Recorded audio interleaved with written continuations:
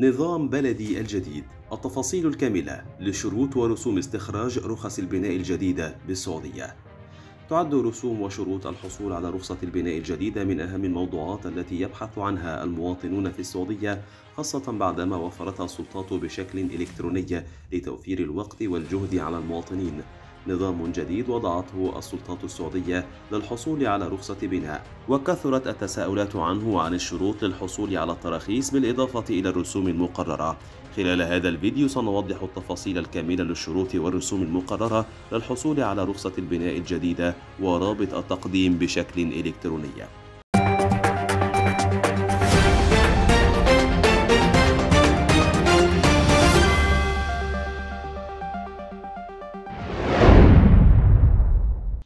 وزارة الشؤون البلدية والقروية السعودية أتاحت نظاما جديدا لرخصة البناء حيث طرحت تطبيقا إلكتروني نظام بلدي الجديد يمكن للأفراد الحصول على رخص بناء بشكل فوري وهو نظام معتمد على أرجاء المملكة كافة.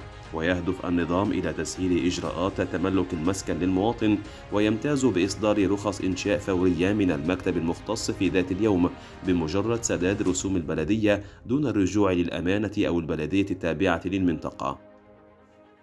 إجراءات الحصول على رخصة. نظام بلدي يسهل إجراءات الحصول على رخصة منها الحصول على رخص فورية من المكتب وسداد الرسوم البلدية دون الرجوع للأمانة أو البلدية التابعة للمنطقة. كما أن نظام بلدي يلغي دور شركة الكهرباء في إصدار الرخص لتأهيل مكتب وزارة الشؤون القروية. إصدار الرخص في كل مدن السعودية وحصر العلاقة التعاقدية لاستخراج الرخصة بين المواطن والمكتب دون الحاجة لوجود طرف ثالث.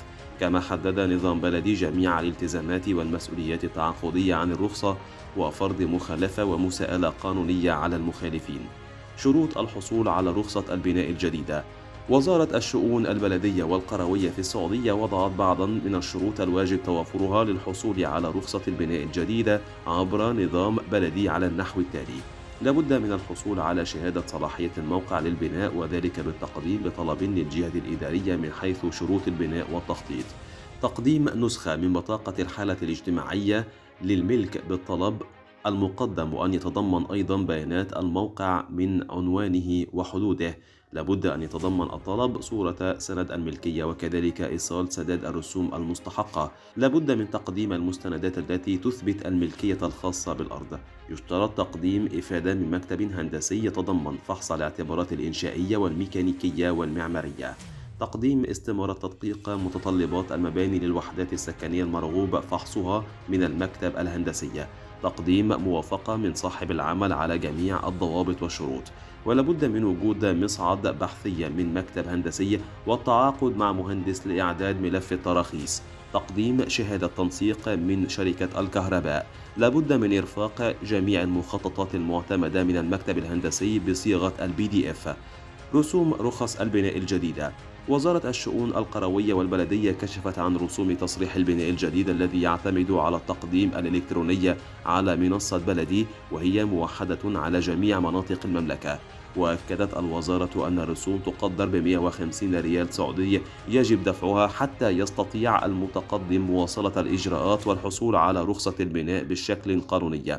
ورخصة البناء بعد العمل بالنظام الإلكتروني يستغرق مدة حوالي 15 يوما بدءا من حصول المتقدم على الموافقة المبدئية من الجهات ومن ثم الحصول على موافقة الموقع ومرورا بالقرار المسحي حتى الوصول لمرحلة التفتيش الميداني للموقع.